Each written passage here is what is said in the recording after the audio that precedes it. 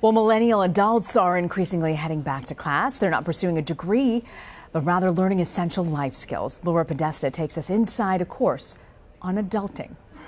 Um, so I'm going to show you guys how to cut an onion. At this cooking class in Queens, New York, 29 year old Elena Tamaris says she's finally learning skills she wishes she'd been taught years ago.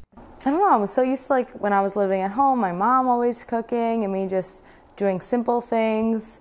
And now that I'm on my own, I'm still kind of struggling with it. She's not alone. The number of classes geared toward teaching adults how to adult is growing. Rachel Flehinger co founded the aptly named Adulting School in Portland, Maine.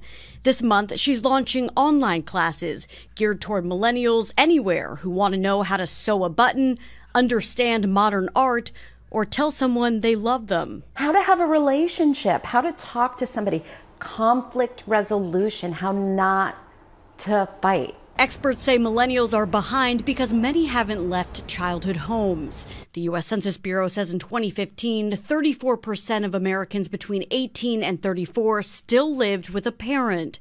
That's compared to just 26% in 2005. It is more common than um, living with roommates and more common than living with a spouse. That translates into young adults marrying later, having children later, and ultimately figuring out those crucial life skills later, too. What's the most surprising question that someone in their late 20s has come to you and asked?